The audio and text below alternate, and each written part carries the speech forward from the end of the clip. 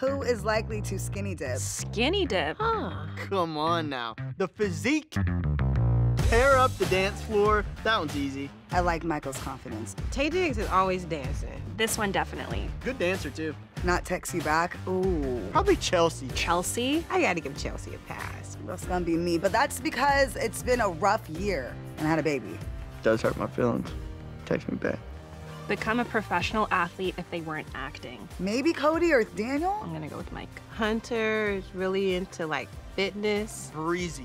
Let me tell you, she is so motivated and driven and a hard worker. And if she wants something, she's gonna get it. Play a prank on set.